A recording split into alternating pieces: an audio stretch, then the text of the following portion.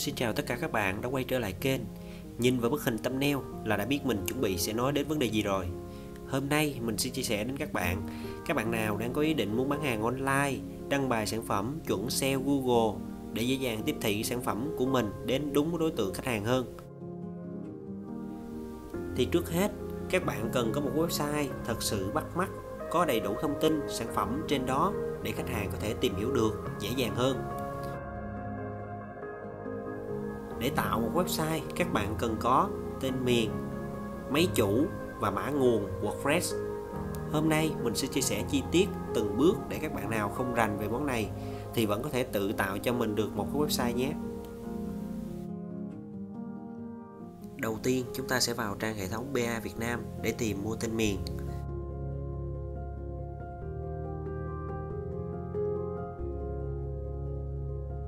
Ở đây mình sẽ ví dụ tên miền, trương gia vlog.com sau đó các bạn sẽ nhấn kiểm tra.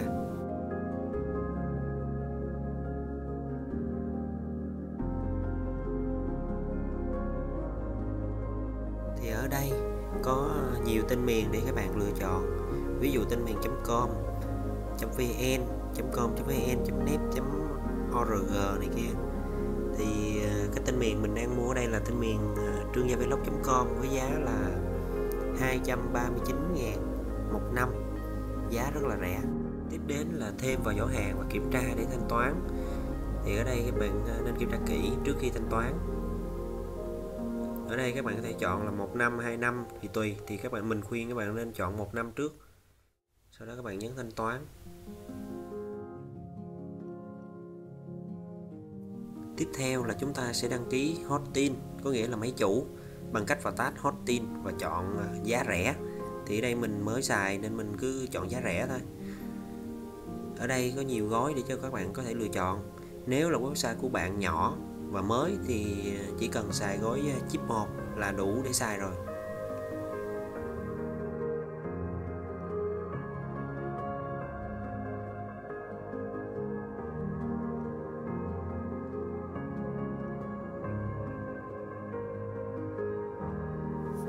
Các bạn chọn đăng ký sau đó hệ thống sẽ hỏi là các bạn đã có tên miền chưa hay là đã có tên miền rồi. Thì nếu các bạn nào đã có rồi thì cứ nhập vào mục à, bạn đã có tên miền thì hệ thống sẽ dẫn tiếp tục. Còn nếu các bạn nào chưa có tên miền thì sẽ chọn bên một uh, chưa có tên miền thì lúc đó hệ thống sẽ dẫn các bạn đến uh, cái bước ở trên là cái bước mà mình đã mua tên miền thì sau khi các bạn đã chọn mua thì ở đây sẽ cho các bạn à, đăng ký một năm, hai năm. Thì các bạn cứ chọn là đăng ký một năm thôi. Sau đó thì các bạn sẽ nhấn à, thêm vào giỏ và kiểm tra cái giỏ hàng của mình trước khi thanh toán. Thì ở đây hiện tại là mình đã có à, tên miền nè, hot tin nè. Thì sau đó các bạn sẽ nhấn thanh toán để thanh toán toàn bộ. Thì tiếp theo mình cũng chia sẻ thêm cho các bạn nào muốn trỏ tên miền về cái máy chủ mà khác cái nhà cung cấp ví dụ ở đây là mình uh, tên miền mình mua ở Hostinger còn máy chủ thì mình mua của BA Việt Nam. Thì trước tiên các bạn cần à, đăng nhập vào cái trang quản lý tên miền của mình và sau đó nhấn vào mục DNZ DNS DNS Zone. Thì ở đây các bạn sẽ thay đổi cái địa chỉ hot của mình mong muốn trở về. Ví dụ ở đây mình đã thay đổi là địa chỉ hot của BA Việt Nam.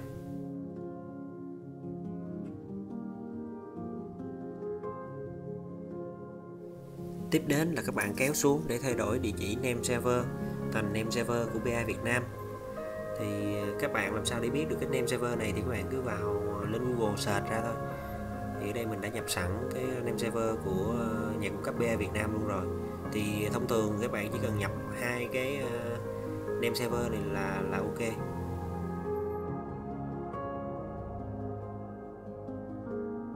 Thì sau khi các bạn lưu lại thì các bạn phải chờ đâu đó phải ờ, một tiếng là nhanh hoặc là nửa ngày. Thì tiếp đến là các bạn ờ, tạo cái database và up cái mã nguồn WordPress lên cái máy chủ. Thì các bạn sẽ truy cập bằng cái địa chỉ IP mà hệ thống cung cấp cho các bạn để đăng nhập ở đây mình đã rõ tên miền thành công và truy cập theo cái đường dẫn mà BA Việt Nam đã cung cấp cho mình. Tiếp đến là các bạn à, tạo database để chứa cái dữ liệu website và backup dữ liệu sau này, mỗi khi thay đổi nội dung và xây dựng website. Các bạn vào mục SQL Management. Các bạn nào dùng dịch vụ của nhà cung cấp khác thì cũng tương tự nhé. Tiếp đến là các bạn chọn database mới. Các bạn lưu ý ở bước này vì có liên quan đến các bước sau chuẩn bị mình sẽ làm. Thì ở đây là database name, database user đều giống nhau. Thì nếu các bạn nào muốn đặt khác nhau thì các bạn sẽ click vào tắt cái chức năng xe map database name. Tiếp theo là đặt mật khẩu. Sau khi các bạn đã tạo thành công, các bạn ghi nhớ lại các thông tin như tên database, username, password. Để tí nữa mình sẽ nhập vào.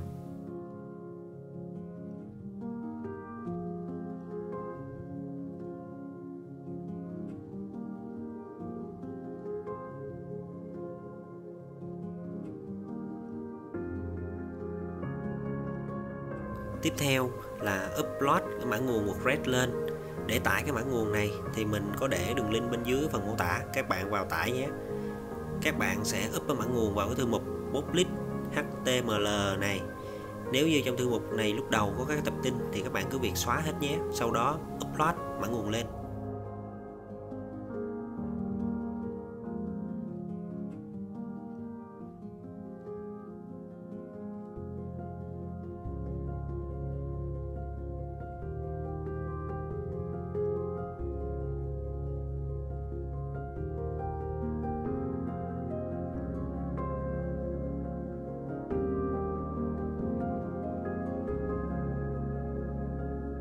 Sau khi upload mã nguồn thành công, mình sẽ giải nén cái file này ra và di chuyển toàn bộ thư mục và tập tin bên trong ra thư mục public html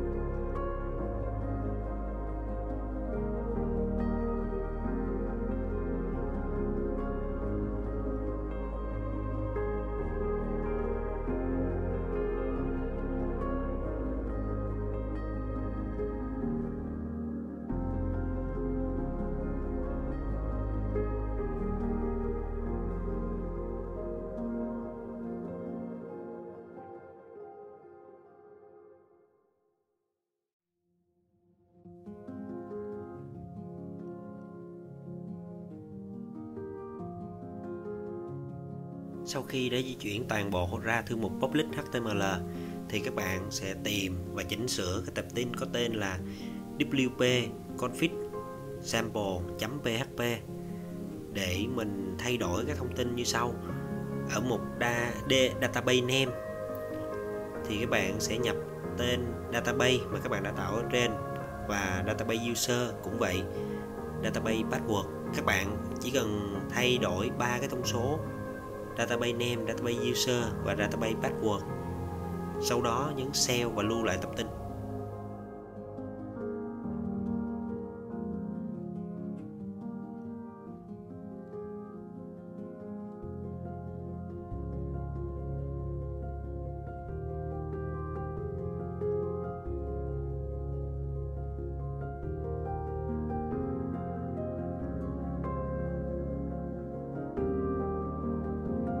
Sau khi sale thành công thì à, tiếp đến là các bước à, kích hoạt và cài đặt website.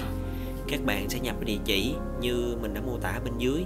Thì ở đây mình đã nhập là gomintech.com suyệt wp gạch admin suyệt setup gạch config.php thì uh, trang web sẽ tự động hiện ra để cho mình cài đặt. Đầu tiên là mình sẽ chọn ngôn ngữ mặc định cho website. Mình có để đường link uh, bài chia sẻ chi tiết ở phần mô tả, thì các bạn nào theo dõi không kịp thì có thể ờ, vào xem. Tiếp đến là các bạn sẽ nhập lại thông tin database, tên user và mật khẩu mà các bạn đã tạo ở bước trên. Còn ờ, mục ờ, localhost và tiền tố VKB thì các bạn cứ giữ nguyên, không cần phải thay đổi.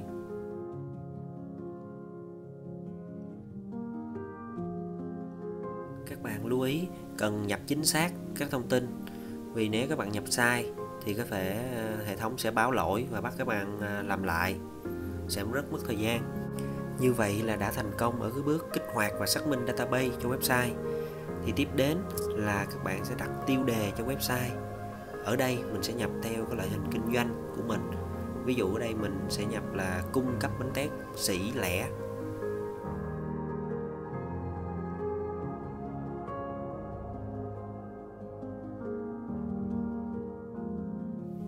Ở một tên người dùng và mật khẩu, thì các bạn sẽ tạo để dành cho việc à, đăng nhập vào các trang quản lý để edit website.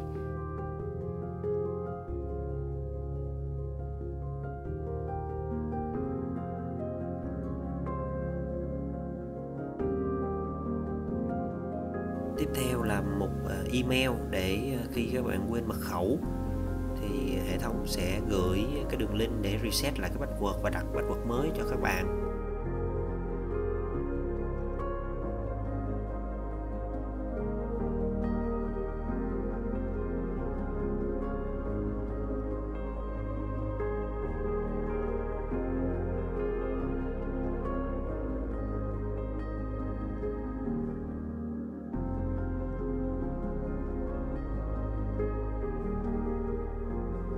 Là các bạn đã tạo thành công của website rồi nhé.